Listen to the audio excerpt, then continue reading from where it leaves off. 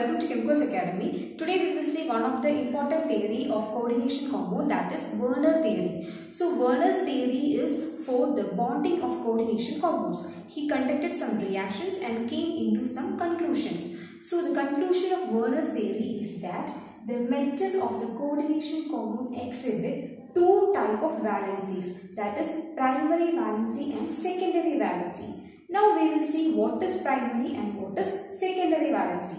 So first the Werner's theory is for explaining the structures and formation of compounds. The Werner theory can explain the structure, the bonding of coordination compounds and the formation of that compounds also.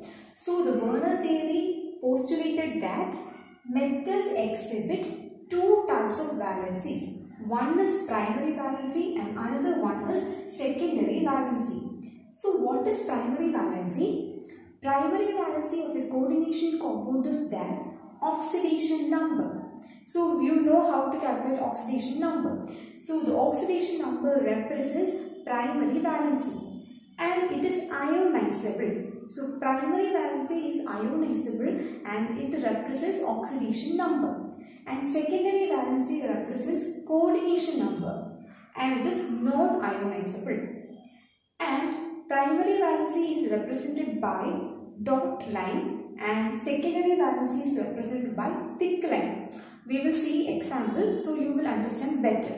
So for time being uh, you understand that Werner theory uh, says that metal exhibit two type of valency. One is primary valency and another one is secondary valency. Now we will see how to identify the primary valency and secondary valency in a coordination compound.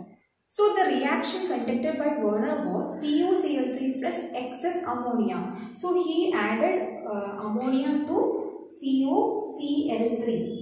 So this was the reaction conducted by Werner and he got these compounds. So now we can find the primary and secondary valency of these compounds. What I said was the primary valency represents oxidation number of charge.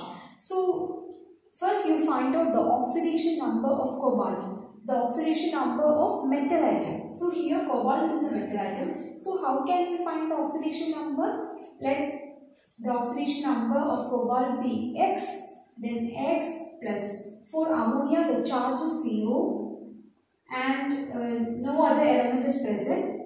X plus 0 is equal to minus plus 3 because here 3Cl minus so this complex will have a plus 3 so plus 3 so x is equal to 3 so the oxidation number of cobalt in this compound is 3 so the primary valency of cobalt is 3 and secondary valency is coordination number so what is coordination number the total number of donor atom so this is the coordination sphere uh, in previous video we discussed the coordination number. So this is the coordination sphere and this is ionic sphere.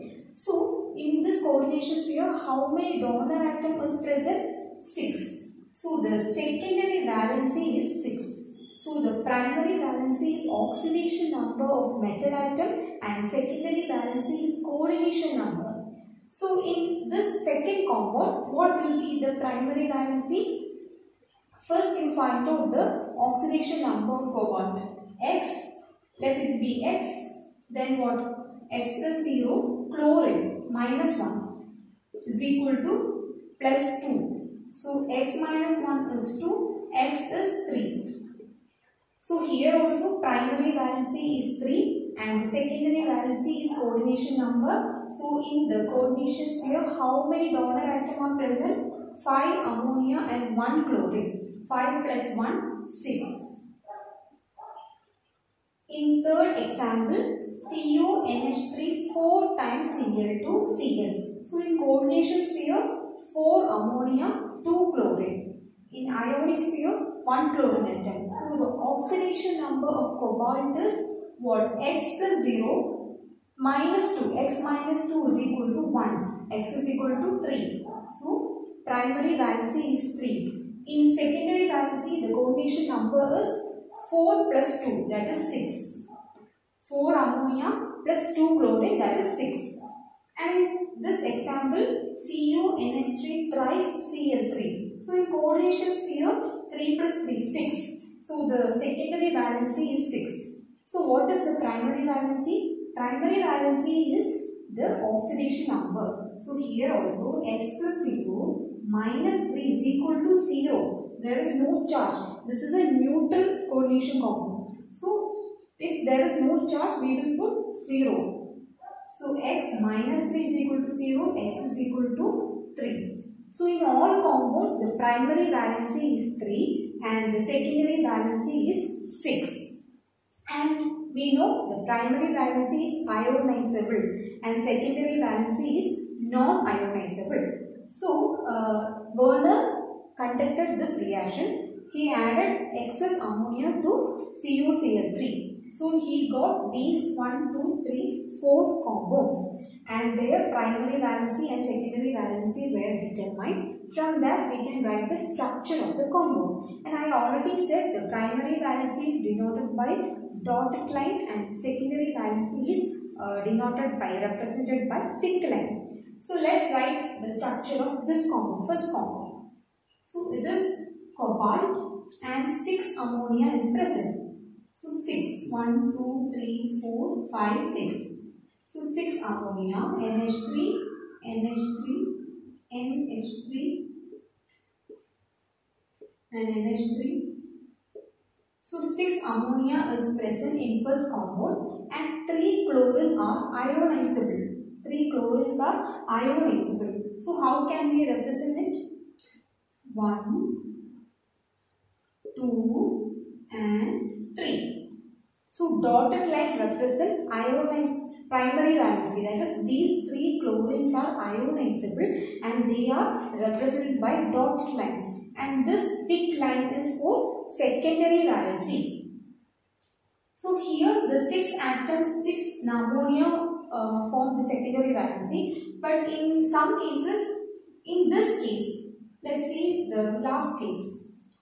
So CO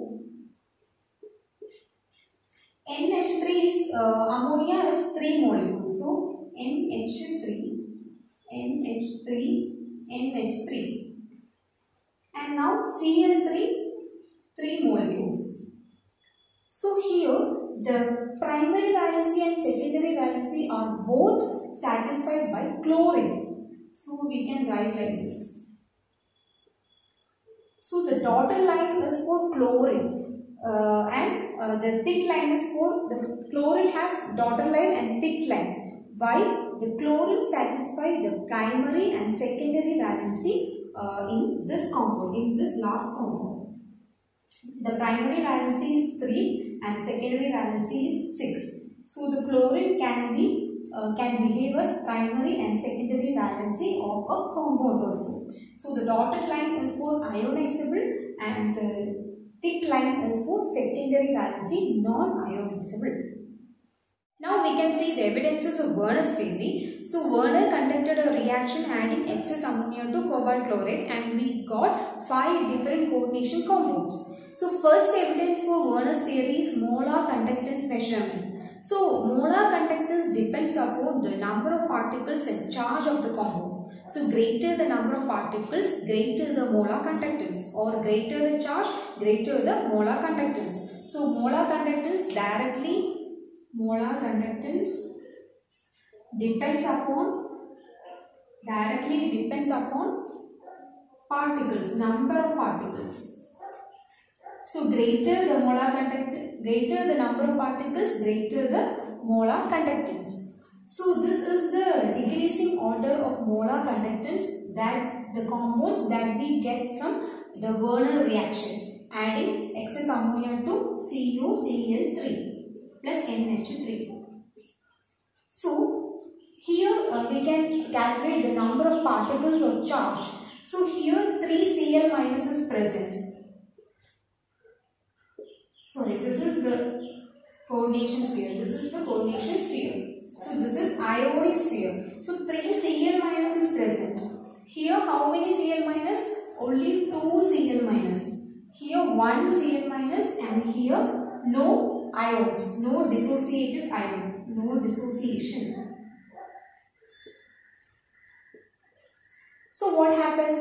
The molar conductance is high for this compound CuNH3 6 times Cl3 because 3 Cl minus or number of particles is high for first compound. 3 Cl minus is present. So molar conductance is also high. Next comes this one Cl2 2 Cl and next one 1 Cl and this is least. Molar conductance is least for this compound because no dissociated ions is present in this compound. So the molar conductance depends upon number of particles and number of charge and the charge. So greater the number of particles, greater the molar conductance. That's the first evidence for Werner's theory. And the second evidence was cryoscopic measurement. So what is cryoscopic measurement?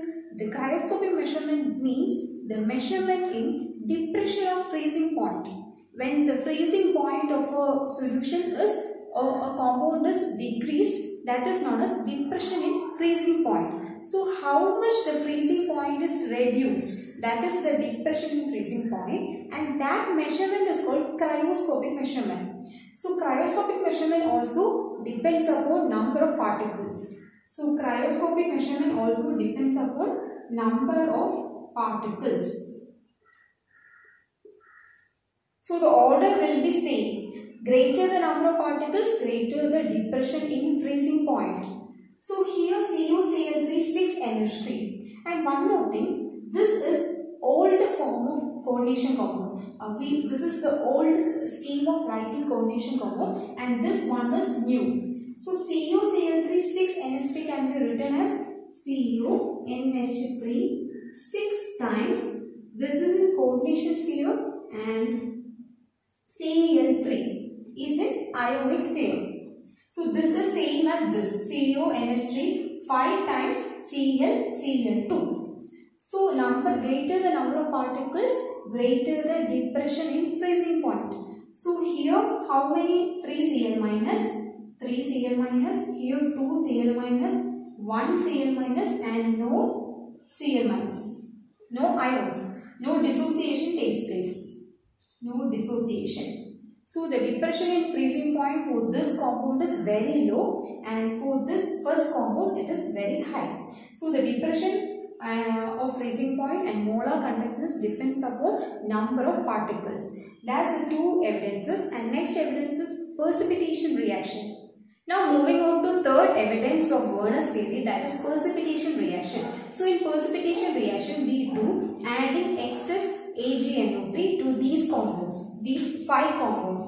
So excess AgNO3 is added, excess AgNO3, silver nitrate. So what happens if Cl is present, then Ag and Cl, Ag plus and Cl form AgCl. So if Cl is present in the combination compound, what happens? AgCl is precipitated and this below uh, down arrow represent precipitation. So we can find, so precipitation reaction is for determining number of ions furnished by coordination compound. So number of ions can be determined by precipitation reaction and adding excess silver nitrate we will get AgCl, silver chloride. So let's do the precipitation reaction. So in first compound CuCl3 6NH3. So this is old version, old writing uh, of method of coordination compound. So new method is CO, C, CO, NH3 6 times Cl3. CO, NH3 6 times Cl3 is the new method. So here how many Cl minus is present? 3 Cl minus. So what happens? Ag when adding excess AgNO3, AgCl, 3 AgCl will be precipitated. So we can uh, count the number of Cl minus ions from this reaction. 3 Cl minus is present. And in this compound what happens? CO NH3 5 times NH3 5 times Cl Cl2 3 Cl 3 Cl is present. So 1 Cl satisfies the secondary valency of the compound. So now 2 Cl minus is present. 2 Cl minus is present. So what happened? 2 AgCl will be precipitated. And in this compound what happens? CuNH3 4 times Cl2 Cl 3Cl Cl2 Cl. So 2Cl is satisfying secondary valency and 1Cl is ionizable. So 1Cl minus means 1 AgCl precipitated. And last compound what happens? CuCl3 3NH3. So CuNH3 3 times Cl3. So in coordination sphere 3 Cl and 3 ammonia are present. No Cl minus. So no dissociation. No dissociation. So no precipitate. No precipitate is formed. No precipitate is formed in last compound.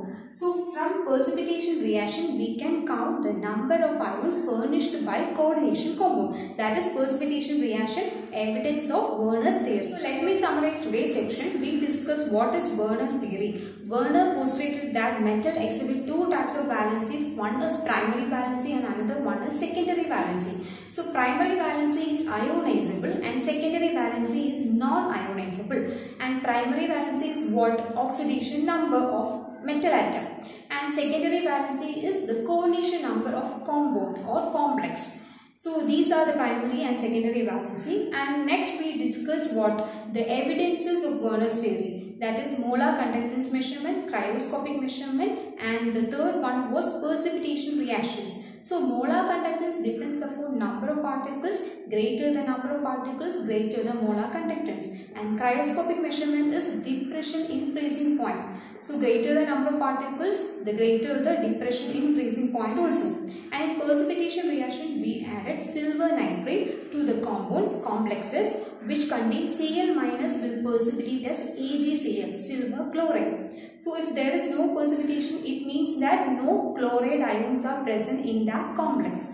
So by these methods we can conclude that a metal in a coordination compound contain two types of valencies primary and secondary valencies. So that's much all about Werner's theory. So in next video we will see another topic of coordination chemistry.